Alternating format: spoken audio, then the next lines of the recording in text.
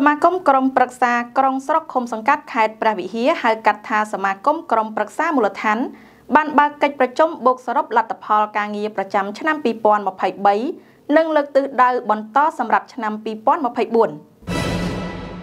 នៅព្រឹកថ្ងៃទី2ខែកុម្ភៈឆ្នាំ2024នេះស្ថិតនៅអាគារសាលាខេត្តជាន់ទី3មានរៀបចំកិច្ចប្រជុំក្រុមប្រឹក្សានិងគណៈកម្មាធិការប្រតិបត្តិប្រចាំឆ្នាំ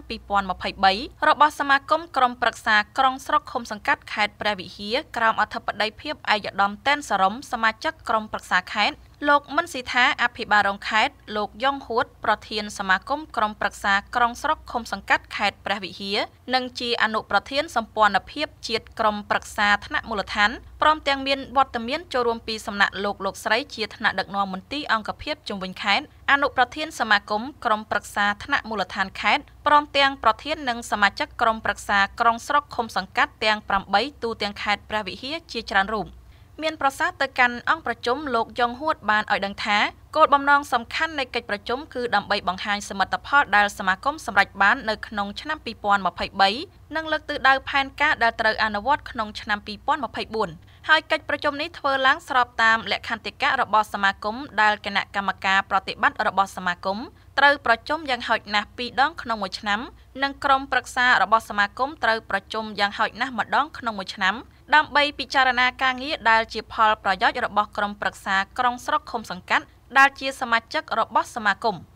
មានប្រសាសន៍បើកអង្គប្រជុំឯកឧត្តមតែនសរមបានលើកទឹកចិត្តដល់លោកលោកស្រីដែលជាសមាជិករបស់សមាគមចូលរួមដោយយកចិត្តទុកដាក់ស្ដាប់និងចូលរួមពិភាក្សានិងអនុម័តផែនការសកម្មភាពការងារនិងសកម្មភាពថវិកាសម្រាប់អនុវត្តនៅឆ្នាំបន្ទាប់របស់សមាគមក្នុងគោលបំណងបង្កើនការយល់ដឹងឲ្យកាន់តែស៊ីជម្រៅអំពីទូនេតិភារកិច្ចគោលបំណងនិងដំណើរការរបស់សមាគមក្នុងការការពារផលប្រយោជន៍របស់ក្រុមប្រឹក្សាក្រុងស្រុកឃុំសង្កាត់ ដូចនេះអាយដាមក៏បានផ្ដាំផ្ញើដល់ក្រុមប្រឹក្សាក្រុងស្រុកឃុំសង្កាត់ត្រូវបង់ប្រាក់សមាជិកភាពប្រចាំឆ្នាំជូនសមាគមឲ្យបានទៀងទាត់និងគ្រប់ចំនួនស្របតាមលិខិតបទដ្ឋានហើយសមាគមត្រូវប្រើប្រាស់ថវិកាសមាជិកភាពប្រកបដោយតម្លាភាព។សមាគមត្រូវផ្សព្វផ្សាយនិងពង្រឹងការអនុវត្តក្រមសីលធម៌ឲ្យមានប្រសិទ្ធភាព ដើម្បីលើកកម្ពស់គុណតម្លៃរបស់សមាជិកក្រុមប្រឹក្សា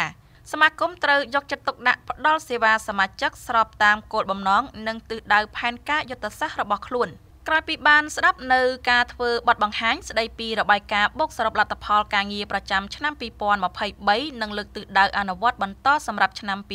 2024ប្រកបដោយជោគជ័យពីសំណាក់ថ្នាក់ដឹកនាំនិងសមាគមរួចមកលោកមិនស៊ីថាអភិបាលរងខេត្តក៏បានសម្ដែងនៅការវិតម្លៃខ្ពស់ចំពោះការចូលរួមកិច្ចប្រជុំទាំងមូលក្នុងនោះមានការសម្របសម្រួលនិងការបកស្រាយប្រកបដោយស្មារតីទទួលខុសត្រូវខ្ពស់ឈរលើឧត្តមប្រយោជន៍ជាតិខ្ពស់បំផុតបន្ថែមពីនេះលោកក៏បានចាប់អារម្មណ៍ថាកិច្ចប្រជុំនៅថ្ងៃនេះពិតជាមានសារៈសំខាន់ណាស់ក្នុងការបង្ហាញពីដំណាភាពគណនេយ្យភាពបង្កើនទំនុកចិត្តដល់សមាជិករបស់ខ្លួនតាមរយៈការបង្ហាញពីរបាយការណ៍ប្រកបដោយសុក្រិតភាពការទទួលខុសត្រូវខ្ពស់របស់ថ្នាក់ដឹកនាំសមាគមក្នុងការអនុវត្តសកម្មភាពនិងការប្រើប្រាស់ថវិកាស្របតាមគោលនយោបាយនិងលក្ខន្តិកៈរបស់សមាគម។